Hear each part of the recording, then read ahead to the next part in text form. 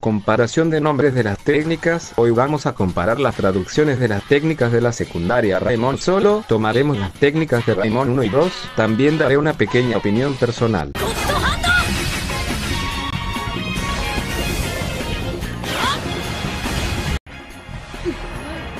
¡Mano celestial! ¡Mano fantasma!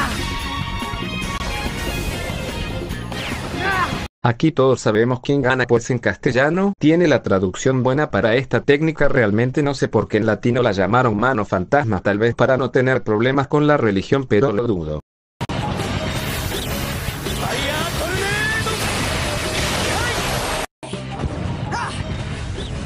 ¡Tornado de fuego! ¡Ultra tornado de fuego! No hay nada que decir solo disfrutar que ambas estuvieron bien.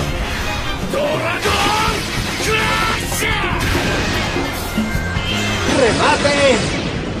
¡Dragón! ¡Impacto dragón! Aquí gana latino porque la palabra crash se traduce como chocar y uno de sus sinónimos es impactar así que impacto dragón sería la mejor traducción, pero por parte de castellano poner remate es como decir tiro de dragón así que se basaron más en cómo se representa la técnica pero está bien.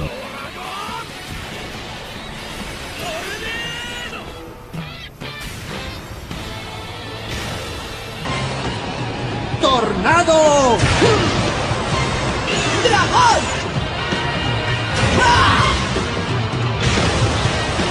¡Aquí voy! ¡Impacto dragón! ¡Tornado de fuego!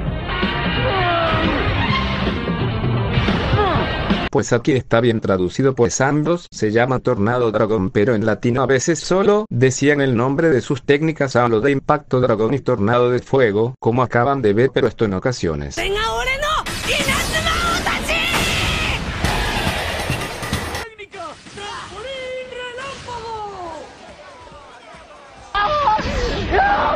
relámpago! Aquí ninguno de los dos dio la buena traducción a la palabra Optosidi, pues esta es traducida como caído o caer, la traducción exacta sería caída relámpago. En latino no sé dónde sacaron lo del gol y en castellano parece que se basaron en cómo se veía la técnica, pues Goenji usa Kabeyama como un trampolín.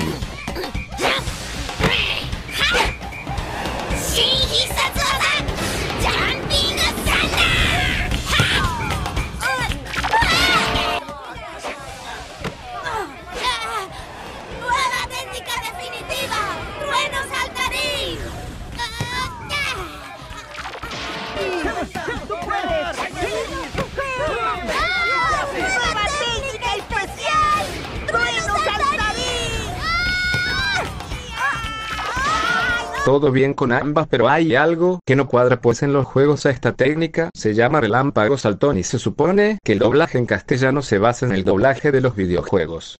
O sea que faltaron a su propio doblaje y esto creo que va a pasar más adelante.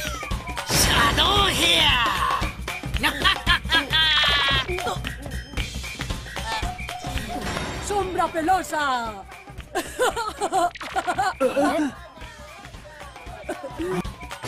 ¡Sombra afro!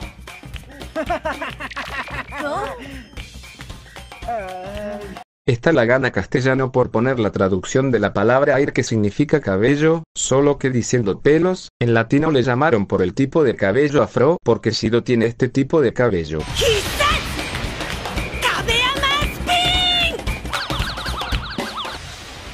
¡Técnica definitiva! ¡Peonza!